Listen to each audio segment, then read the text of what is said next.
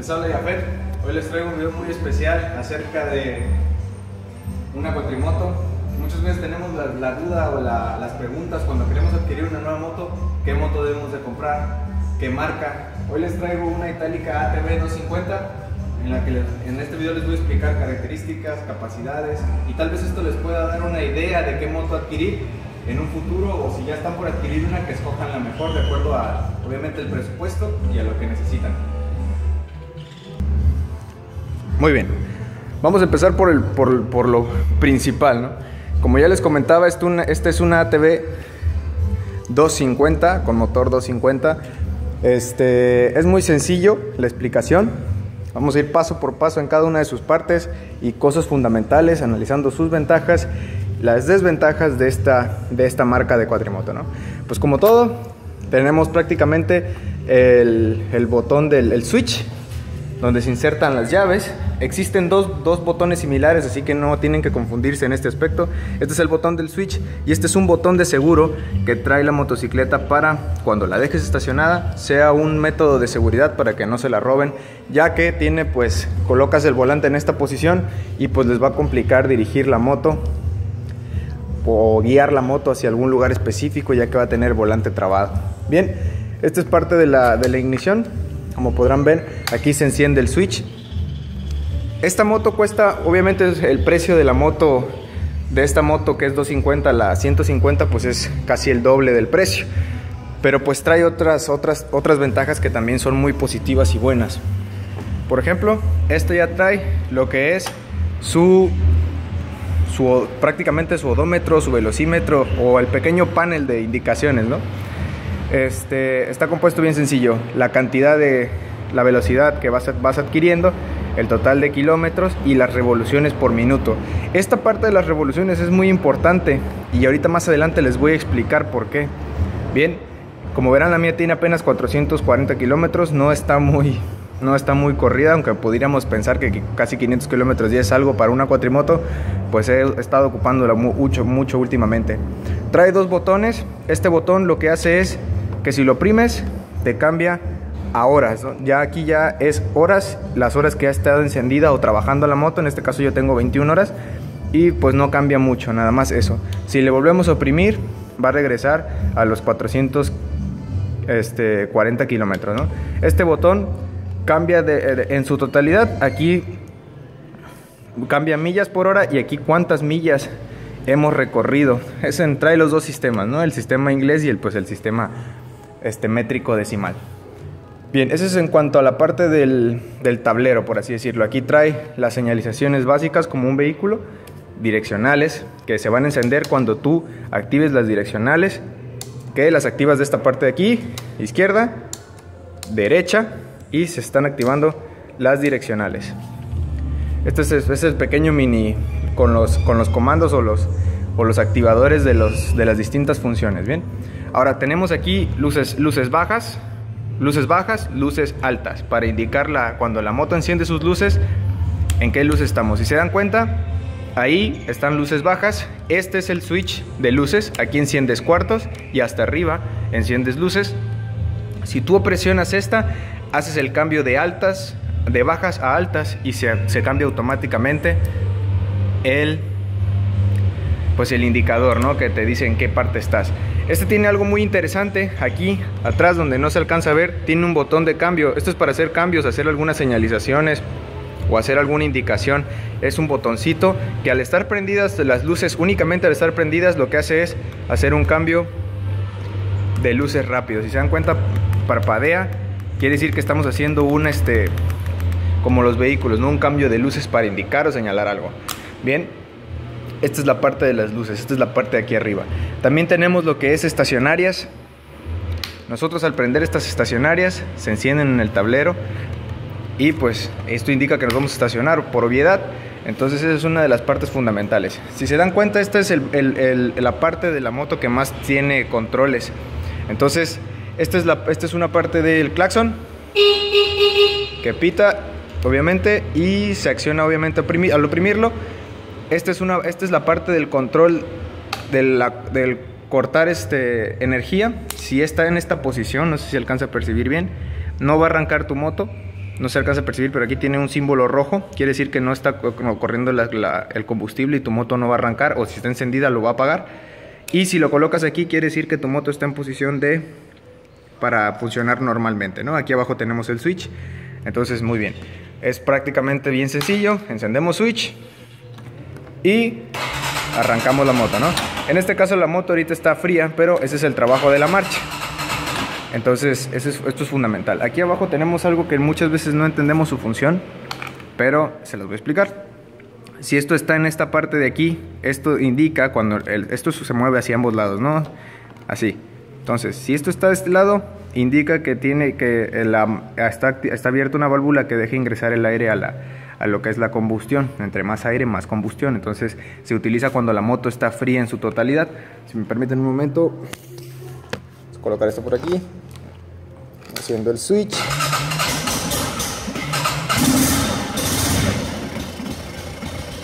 la moto está encendida ¿Cuál es la importancia? Si nosotros no tenemos un buen manejo de esto, lo que vamos a hacer es que si nosotros lo corremos de más, automáticamente cerramos el, ingreso del aire y la moto automáticamente se va a apagar.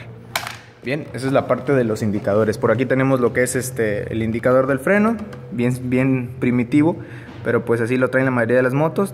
Aquí tiene como una como una brújula, un cristal que se ve el líquido de freno si está a nivel bajo, pues aquí tiene una línea o si está pues lleno, no, no tiene la marca, pero nunca debes dejar que llegue a la parte del lower, ¿no? Entonces aquí tenía, si se dan cuenta, unos espejos. Yo por comodidad y por estética se los quité. Me, generaban ciertos, cierto trastorno a la hora de ponerle las fundas. Otra de las cosas adicionales que trae esta moto es trae un cargador de 12 volts, como los que traen los vehículos. Funciona si de repente te vas a la playa o algún lugar y quieres cargar tu celular. Esta parte es muy útil. O incluso si quieres ir de cacería o algo por el estilo, esto te va a ayudar a cargar algunas lámparas que son recargables y sin necesidad de estar en la casa, ¿no? Entonces, esta es otra parte muy fundamental esto muchas veces nos genera ciertas confusiones. Esta no es más que una válvula para el ingreso del combustible. Si se dan cuenta aquí abajo tiene una, una flechita indicando algo, la mía está media llena de polvo. Si nosotros lo ponemos aquí, dice en la palabra on, quiere decir que el combustible está libre.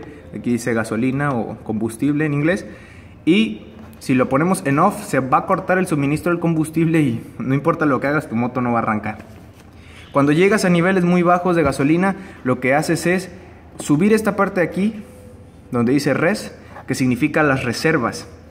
Quiere decir que cuando tu, combustible ya está por agotarse, lo más recomendable es que lo pongas en reserva para que la... Ah, no sé qué sistema tiene, pero se supone que te ayuda a ahorrar más combustible y absorber todo el combustible que se encuentra en el tanque. El tanque de gasolina es bien, este, este, tiene una capacidad de 12 litros es bastante, es bastante grande para las motos. Comúnmente las, la mayoría trae este, tanques de 4. Está muy duro ahorita. Lo, aprieto mucho para que no lo, no lo abran. Bueno, no lo vamos a abrir ahorita. Trae una capacidad de 12 litros y trae una manguera de, de, desahogo, con la cual puede ir suelta o pues para esto tiene este diseño del, del huequito. La verdad es que es una moto muy, muy, muy económica. Una de las desventajas de este es que a pesar de que trae el tablero, no te indica el nivel de gasolina, pero es muy fácil, nada más abres el tanque y pues checas el nivel. Te vas a dar, te vas a dar cuenta que no consume mucho y pues ni ganas te van a dar de, estar checando el, tanque de gasolina, porque realmente me ha dejado sorprendido esta moto itálica de la economía que tiene. Y digo, no estoy haciendo ninguna promoción, solamente le estoy hablando de pues de que yo adquirí un vehículo como este y pues que sepa, ¿no? Este es el indicador del aceite, aquí está el aceite del motor. Este es un freno de pedal, ¿sí? Es un freno que al, oprimirlo activas el freno de la parte de atrás, no es la, no es la de velocidades. Esta moto es de 5 velocidades más reversa, es, semi, es semiautomática, no es automática como el modelo más chico. Las velocidades en esta moto entran hacia la parte de arriba Ahí entra primera, que por cierto, te las va a indicar en el tablero. Vamos a ver. Te las va a indicar en el tablero únicamente cuando esté prendida. Si se dan cuenta, ahí está. Primera. Yo le puedo meter segunda, te la va a indicar. Ahí está. Y pues obviamente así sucesivamente hasta cuarta, quinta. Una de las ventajas que es semiautomática es que solamente requieres, requiere que le hagas los cambios de acuerdo a la velocidad que vas adquiriendo. Ahí está en neutral. Hacia arriba se meten las velocidades, por obviedad hacia abajo se llega a lo que es la parte neutral. Esta moto tiene la, la acción en reversa. Muchas de las motos no las traen, o bueno, hay algunas ya por comodidad la están sacando, ¿no? Entonces, esto es para activación de reversa. Si nosotros lo tenemos en H, quiere decir que está hacia adelante. Ahora, ojo con esto.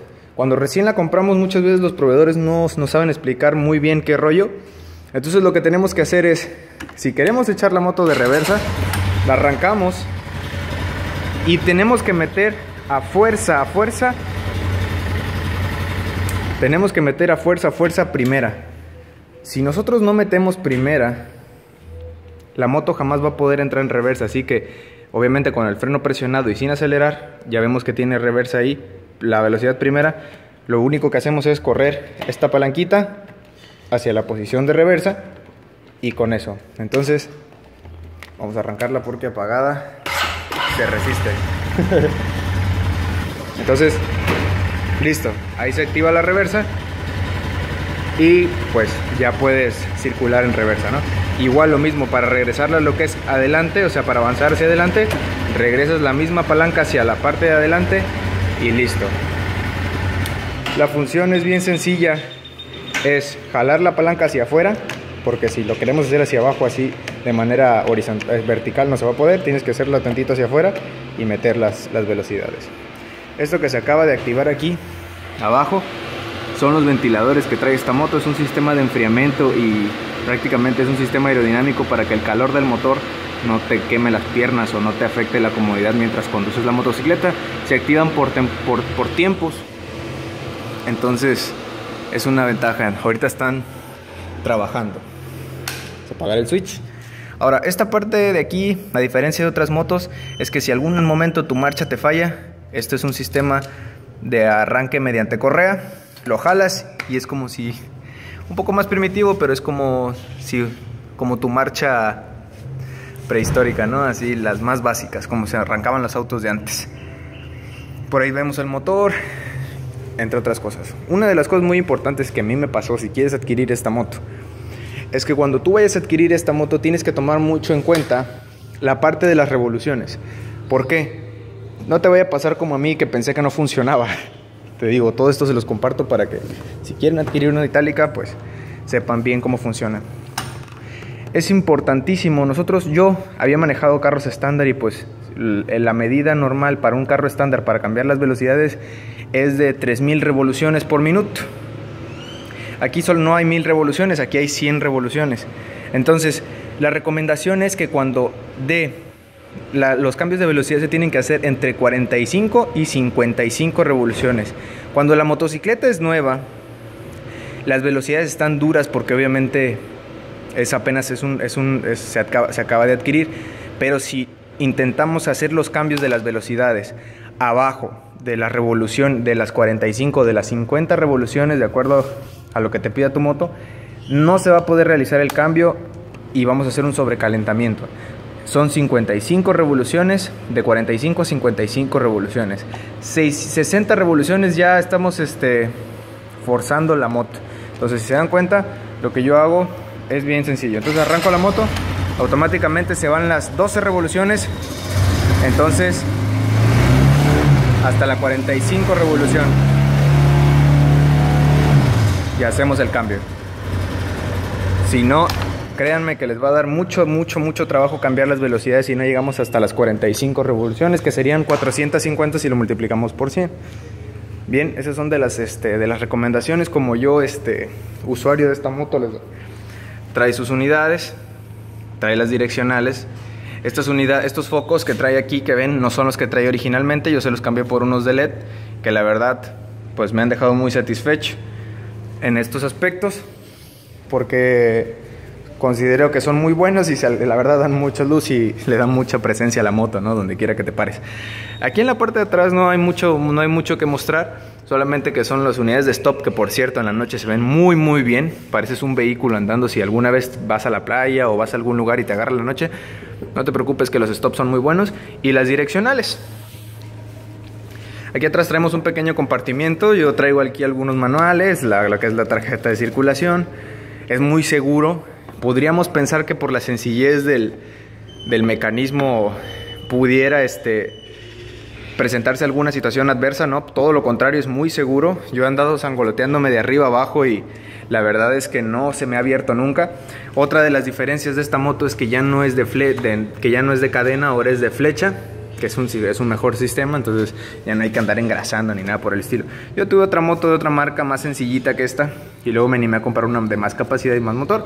Tiene lo que le llaman el jalón o el dispositivo para hacer, para jalar algunas cosas. Nunca lo he utilizado la verdad, pero pues tiene mucha fuerza esta moto, así que no dudaría yo en, en que tiene muy buena, muy buena capacidad de jale.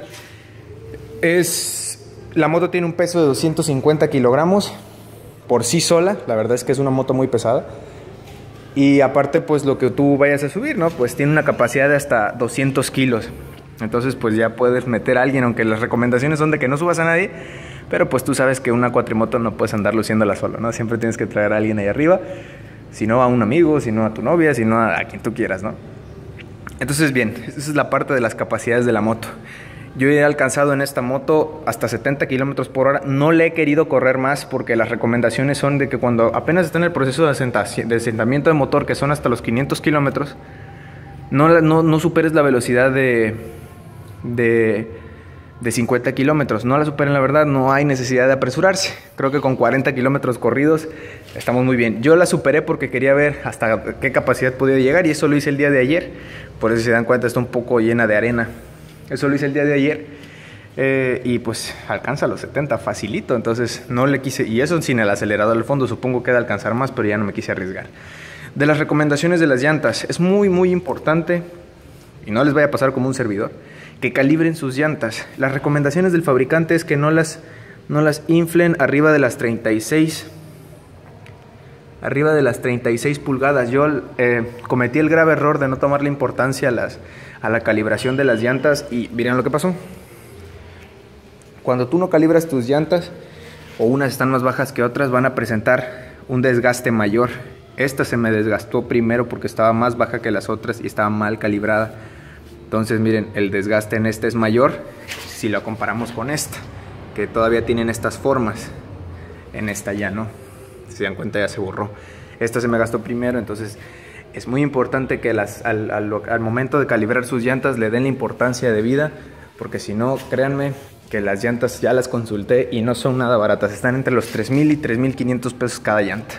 Llevo 450 kilómetros, mi llanta no se vería tan desgastada si no hubiera sido por el error de la mala calibración que tuve, pero bueno, echando a perder se aprende, ¿no? Ahora voy a tener que comprar una llanta. Pero pues no les, espero que no les pase esto, ¿no? Entonces yo la, la recomendación que les doy es que calibren sus llantas antes de echarla a andar Muchas veces cuando lo sacamos de la tienda no nos explican estas cosas. Solamente un usuario que echa a perder sus cosas, pues como yo, pues se les está explicando para que no les pase lo mismo. Entonces, abusados. 33 pulgadas está muy bien. Las inflé hace como una semana y me siguen aguantando y el desgaste obviamente pues se redujo. Si se dan cuenta todavía están enteras mis llantas. Hizo que las han dado últimamente mucho en pavimento. Obviamente que no están diseñadas para el pavimento, pero pues muchas veces te dan ganas de salir cuando y más cuando la moto es nueva, ¿no?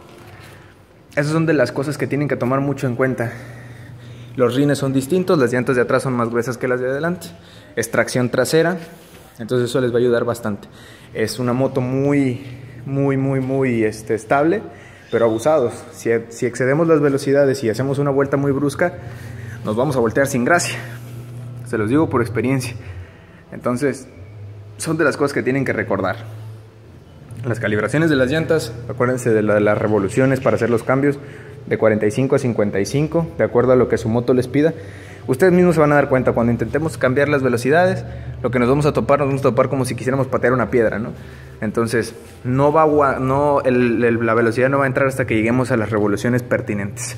Tiene dos amortiguadores centrales que son muy buenos para amortiguar los golpes y pues uno, uno, uno central en la parte de atrás. Que la verdad es que esta moto se le sube mi papá y de repente se le sube mi mamá y, y, digo, no, no son personas que tengan sobrepeso, pero este anda como si nada, es una chulada la verdad. Para terrenos muy blandos, el mismo peso no le beneficia, esa es una de las desventajas junto con la de que no trae el indicador de gasolina, pero el mismo peso no le beneficia porque cuesta trabajo que salga, sí sale, sí sale definitivamente, pero no tan libre como nos gustaría, ¿no? Por el mismo peso y agrégale, agrégale lo, lo, extra. Y bien, para concluir, pues tiene los, el sistema de freno, este es el freno de disco, y abusados. He visto en algunos videos de YouTube que piensan que esto de aquí es el clutch. No es ningún clutch, si se dan cuenta con facilidad lo he hecho hasta la parte de atrás, pero no es ningún clutch. Ustedes no tienen que meter ningún clutch, recuerden que es semiautomática solamente requiere que lleguemos a la velocidad pertinente para hacer el cambio automático. Es como si fuéramos una automática, nada más que nosotros hacemos el cambio de acuerdo a la velocidad que alcancemos. ¿Qué es esto, señores? Esto no es más que un simple freno de mano. Si se dan cuenta, voy a hacerle la prueba para que, para que sepan. Ahí se va, sencillo, mi moto, con una empujada y un jalón, ¿no? Si nosotros activamos nuestro freno de mano, ¿cómo lo activamos? Presionamos y con la otra mano, o con la misma mano, bajamos esto hasta que trabe. Ahí ya está activado. Si se dan cuenta, ahí ya se quedó nuestro freno de mano y vean. O sea, hay mucho más resistencia. Obviamente también le puedes dejar la velocidad común para que no se mueva. Y entre esas cosas, ¿cómo lo liberamos? No sé si se dieron cuenta. Lo único que hacemos es oprimir, se libera el seguro y listo, estamos listos para andar. Tengan mucho cuidado de cuando empiecen a andar, se aseguren de que no tenga el freno porque entonces se van a quemar los frenos. ¿no? Esas son de las, de las, de las ventajas de la, de la, y desventajas de la cuatrimoto itálica. Muchas de las motos anteriores aquí en esta parte traían una, una ¿cómo se llama? Un pequeño compartimiento. Vamos a ver. En este caso esta no lo trae así. Trae su filtro de aire, trae los números seriales. Cuando ustedes compren es muy importante que se fijen que esto coincida con, que este numeritos coincidan con la factura y la batería. Es más todo esto, miren el tamaño del tanque, o sea, es bastante amplio. 12 litros, pero créanme cuando les digo que 12 litros les va a dar para que hagan, deshagan, hagan y deshagan y se van a espantar cuando se den cuenta que no han gastado realmente mucho. Y pensarán que digo, ya se han acabado un tanque, ¿no? Bien, estas son las partes de las parrillas, sirven para cargar cosas, si se dan cuenta presenta mucha resistencia en la parte de la parrilla frontal también. Yo les recomiendo que todas las cargas por comodidad las lleven en la parte trasera. ¿Por qué? Porque si llevamos exceso de carga o de dimensiones aquí, lo que vamos a hacer es golpearla o golpear nuestro volante con la carga que lleven aquí adelante. No les recomiendo transportar personas aquí adelante tampoco porque obstruyen la visibilidad y hacen un peso excesivo en la parte de adelante que obviamente produce que las llantas se desgasten más. Pues eso fue todo compañeros por, la, por este momento, este, eh, por el momento de la explicación de esta itálica.